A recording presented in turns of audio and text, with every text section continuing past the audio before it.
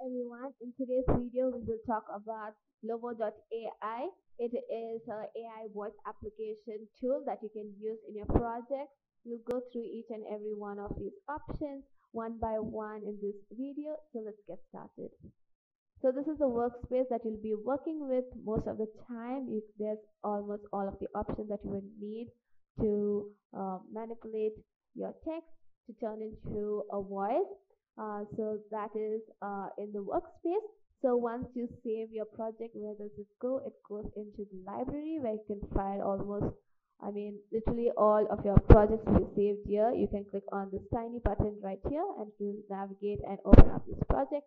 So yeah so I'm going to go back to the workspace and I'm going to rename uh, this untitled title to a travel plan app so this is the name of the app. It is basically an example for this video.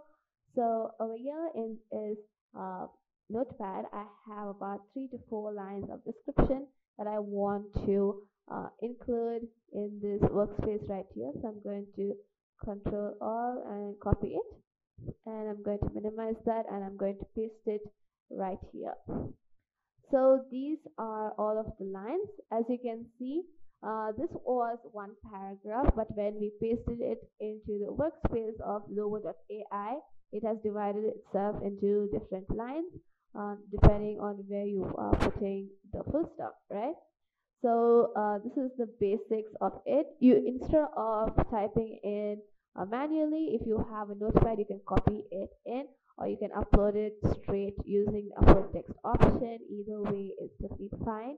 So this is the first step in your workspace of Lovo.ai. So the next we'll be seeing how we can use all of these different options uh, in the next video.